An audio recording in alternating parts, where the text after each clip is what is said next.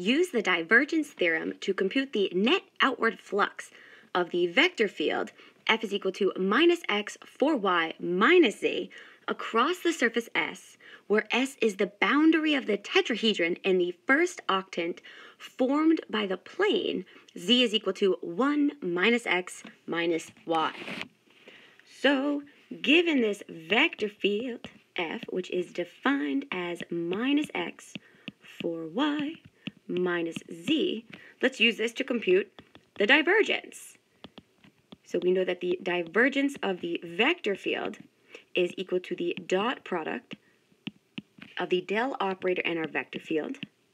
So we have the del operator with components d dx, d dy, d dz. And we're dotting this with our given vector field, minus x, 4y, minus z. And so by the dot product, we have the derivative of minus x with respect to x plus the derivative of 4y with respect to y plus the derivative of minus z with respect to z, leaving us with minus 1 plus 4 minus 1, which gives us 2. So we have another constant for the divergence of our vector field here. So let's think about what is our solid region D? Do we have a geometric formula for it? So our solid region is a tetrahedron in the first octant. So it is, and it's bounded by the surface, right, those x, y, and z planes, as well as the plane, z is equal to 1 minus x minus y. So we don't have a simple geometric formula for this, but we can easily find the bound. So to find these bounds, we want to go ahead and sketch this. So we are sketching our tetrahedron. Again, we'll keep in mind here that this is bounded by the surface S defined explicitly by z is equal to 1 minus x minus y in the first octant. So that's where x is greater than or equal to 0, y is greater than or equal to 0, and z is greater than or equal to 0. So let's think about space. We have the z-axis, we have the x-axis, and scooch that over a little bit, and we have the y-axis.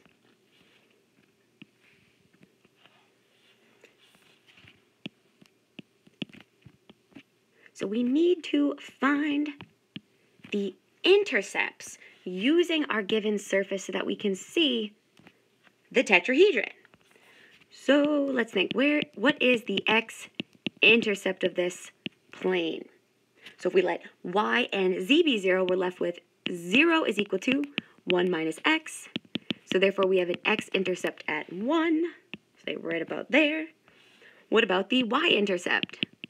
Well, if we let x and z be equal to 0, we're left with 0 is equal to 1 minus y. And so therefore we see that we have a y-intercept at 1. We could say right about there. And last but not least, we have the z-intercept. So if we let x and y be equal to 0, then we're left with z is equal to 1. Woohoo! So there are our three intercepts, and if we connect these three intercepts with a smooth curve, we can see our surface S.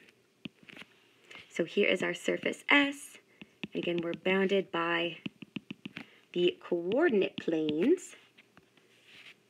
So we want to think, what are the bounds on this solid region D in R3?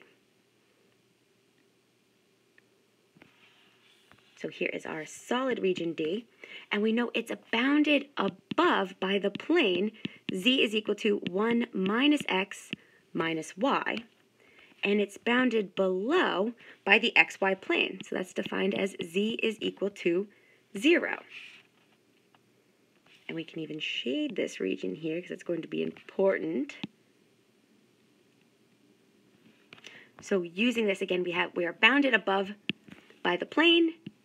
Z is equal to 1 minus x minus y and bounded below by the xy plane. So we have the bounds on z. We have that z is greater than or equal to 0, less than or equal to 1 minus x minus y. But what about the bounds on x and y? So in order to determine those bounds, we want to think about the region R in the xy plane.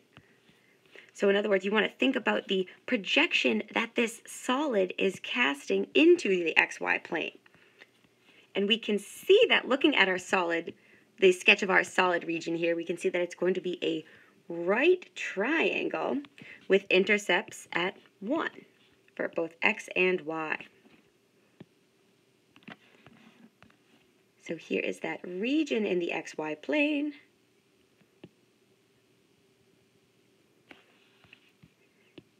Now we can see that this region is bounded below by the x-axis, or y is equal to 0.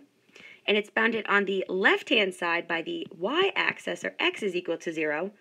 But what is the hypotenuse of this right triangle? So if we're in the xy plane, z must be 0. So since z is equal to 0, we can use our surface S here to find that diagonal line. So we can say that the surface becomes 0 is equal to 1 minus x minus y. And converting this to its slope-intercept form, we see that the diagonal line is y is equal to 1 minus x.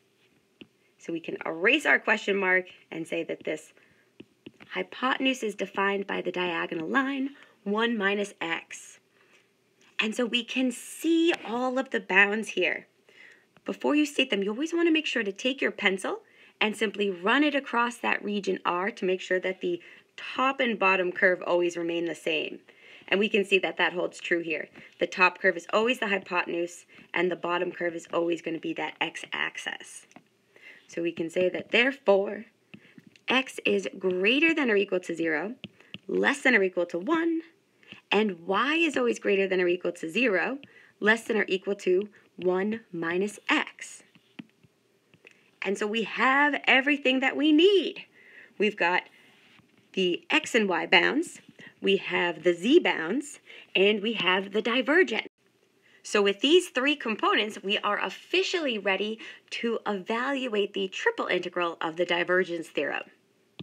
And so we're ready to evaluate the divergence theorem. So we have that triple integral over the solid region D of the divergence of the vector field, and we're integrating with respect to volume. So plugging in what we just found, the outer integral is the x bound, so that's from 0 to 1. The middle integral is the y bound, so that's from 0 to 1 minus x. And the inner integral is our z bounds, which is 0 to 1 minus x minus y. And we had the divergence of our vector field was 2. And that is dz, dy, dx. So here we go. We have the integral from 0 to 1, the integral from 1 to x, and we're integrating with respect to z first, so this becomes 2z from 0 to 1 minus x minus y dy dx. And so this will become the integral from 0 to 1, the integral from 0 to 1 minus x of 2 multiplied by 1 minus x minus y dy dx. And so we're ready now to integrate with respect to y. So this will become, keeping the outer integral on the outside, we have the integral 0 to 1 of 2. And we can even think about this as 1 minus x multiplied by y minus y squared over 2. And we're evaluating from 0 to 1 minus x dx. So evaluating, we are left with, I'm going to actually put, just to make this a little bit nicer, let's put 2 on the outside of our integral for now.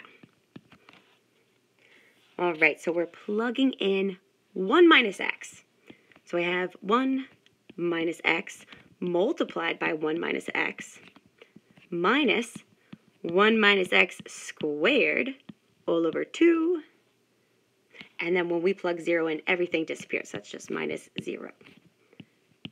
So are you noticing here that we have 1 minus x times 1 minus x, which is, of course, 1 minus x squared.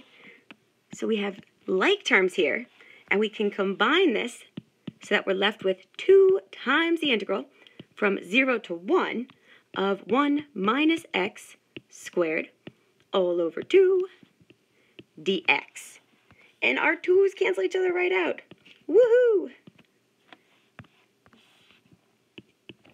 And so we have a basic u substitution, or even we can just call this a general antiderivative. This is going to integrate to minus 1 minus x cubed all over 3 from 0 to 1. If you didn't see that general antiderivative, you can always apply u substitution here as well. And we're ready to evaluate. So I have minus 1 third multiplied by 1, so I have 1 minus 1 cubed minus 0 minus, or excuse me, 1 minus 0 cubed. So 1 minus 1, of course, goes to 0. And then we have, or we're left with, negative 1 third multiplied by negative 1, which leaves us with a beautiful final answer of 1 third.